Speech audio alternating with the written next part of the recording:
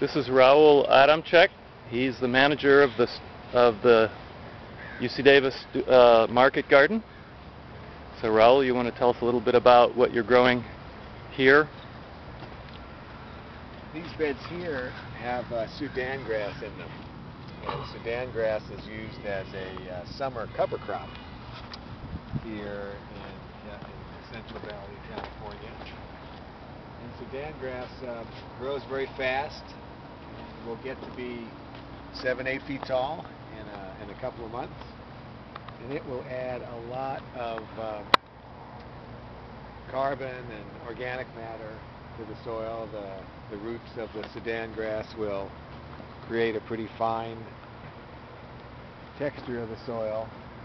And uh, then these beds will end up being um, our spring crops because the Sudan grass will get turned in in October or so and uh, by the time it, it, it breaks down and is ready to go, we'll, uh, it'll be spring and we'll be planting Okay. things.